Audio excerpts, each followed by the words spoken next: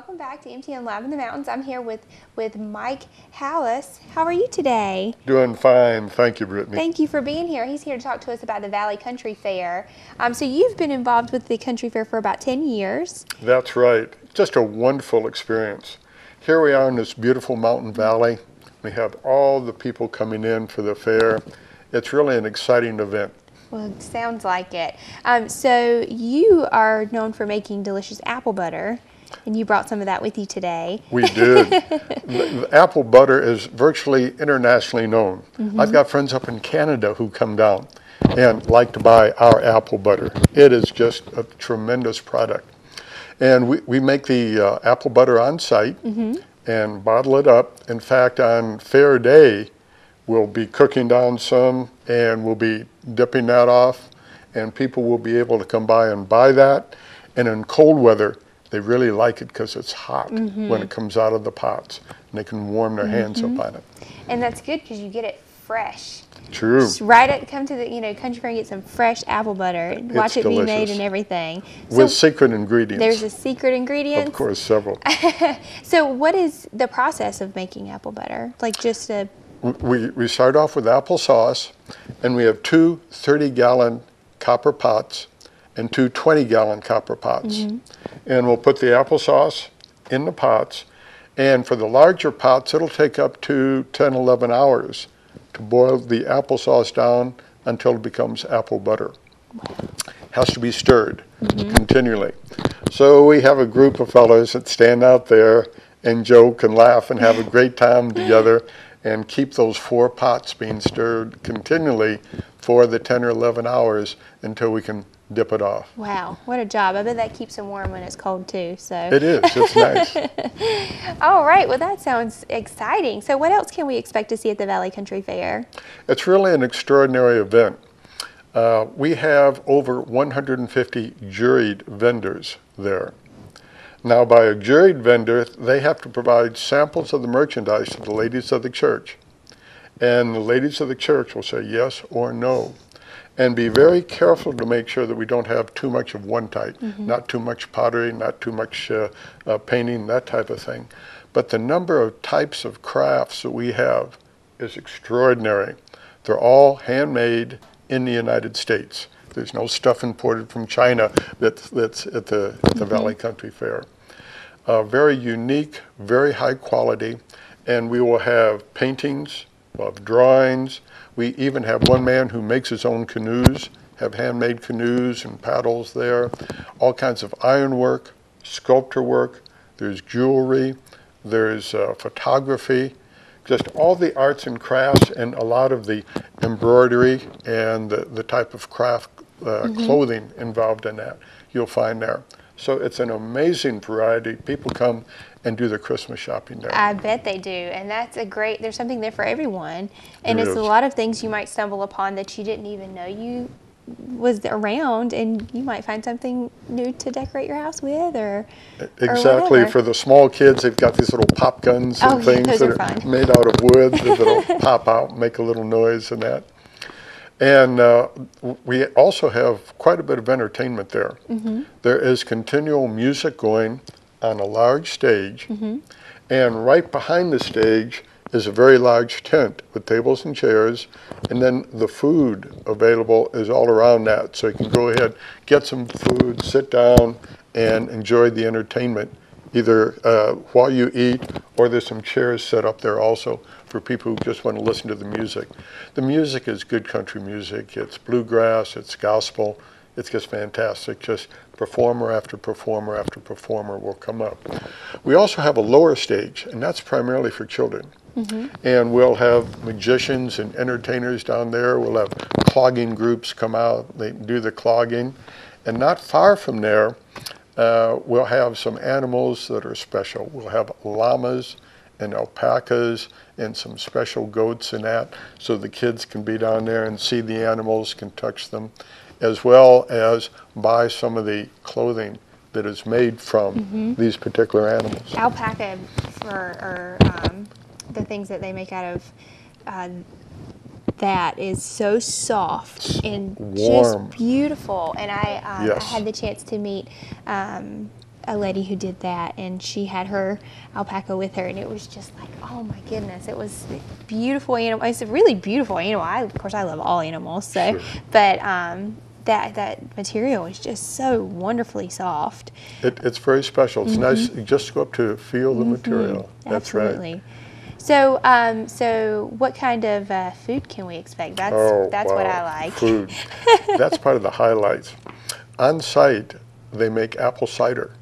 And you can watch them. They've got this big barrel there. Mm-hmm. Crank this handle with apples in it, and the cider comes out the bottom, and you can buy fresh apple cider there.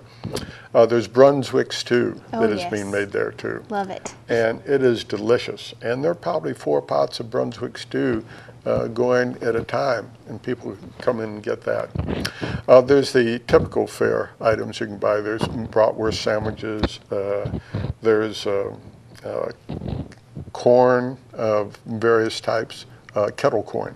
That's the term I was trying to think of. and just a wide, wide variety of food. Now, I'm involved with the apple butter portion. And so we're making apple butter on site. And you can see these people stirring these great big kettles, and then you can watch them when it's finally cooked in the, the afternoon. On Saturday afternoon, we'll be dipping it, and you can get your own fresh apple butter. That sounds fantastic. Well, um, tell us a little bit about the sponsors of the, the county fair. Sponsors are primarily two. Church of the Holy Cross. Uh, church of the Holy Cross is a relatively small church, uh, probably 200 families plus or minus, and they put on this entire event with the help of the co-sponsor, which is the Valle Crucis Conference Center. Now, both the Church of the Holy Cross and the Valle Crucis Conference Center and the land is all owned by the Episcopal Church, and it's the the uh, Western uh, the, the the Western Diocese of the Episcopal Church. Oh, that's fantastic. What a what an awesome team they must have to put on such a grand event. It is. Um, and how long has this event been going on? We are in our 36th Wow, year going that's on. That's amazing. And one of the interesting things about it, first started was at an apple barn that is on the property. Mm-hmm. Then we outgrew the apple barn, and we're now in this beautiful valley. And something else for the people who may not be in the area, this is the fall of the year. Hopefully it'll be peak color. And we're in this beautiful valley with Clark's Creek running through it. And all around you are these mountains uh, with beautiful color in it. It's just wonderful to, to come up this way. This is the best way. This is the best, one of my favorite things about fall is all of the fun fall festivals that go on, and Yes. especially this sounds especially um, fun because it's like we're showcasing everything that's great about the mountains. It is. Good It's food, beautiful. good music, um, good handmade crafts, especially, and good people. and good people. That's I right. love it. so where where is the fair this year? It's being held at uh, the same place is going to be at Valle Crucis. Uh, it is about one mile from downtown uh, Valle Crucis on Highway 194, Mm-hmm. and it's about five miles from Banner Elk. Okay, and what what date is it? I don't know if we saw when, when it was. October 18th. October 18th. That's right. Now It'll be that's- from nine to four. 9 to 4, October 18th. Right. All right, and that's a Saturday. Is that a Saturday or That's Sunday? Saturday. That's a Saturday, right. right. Perfect time. And so Perfect that's day. That's kind of the same time as the Woolly Worm Festival, but there's It a is. collaboration there You're right. with You're the exactly with the right. county fair. The, the Woolly Worm Festival is held in Banner Elk, and that's a fantastic festival where they actually race woolly worms going upstream. Mm-hmm. And it's primarily for children. It's an exciting event. There's entertainment, food there. It's a great event. And we are located the same day, which is the 18th, only five miles away. So lots of people think that there's competition, but there's not. There's collaboration on us. We bring people to the high country to have a wonderful experience. And they can experience racing woolly worms and Banner Elk, come to the Valle Country Fair, and experience the, the grandeur of the high country and buy the items at the Valle Country Fair. Well, that's fantastic. You can get two wonderful festivals in one day, and That's right. that just, I mean, and it, they're not far. So That's right. I know. Is there any admission to the fair, the Valle County Fair? It is absolutely free to come to the fair, but you do have to pay for parking. Okay. And it's $10 for parking per Okay. car. And then all the pro- profits go to support local charities, right? That is absolutely correct. Uh, the first year, some of the profits went to the church, but every year thereafter, the money, and we're talking tens of thousands of dollars of profit, all goes to charity in Avery County and Watauga County. Well, that is fantastic. What a wonderful, um, what a wonderful event. You know, like I said, we showcase everything that's wonderful about the mountains, and it also goes to a fantastic cause. So it's something for the community to come and enjoy, and they give back as well.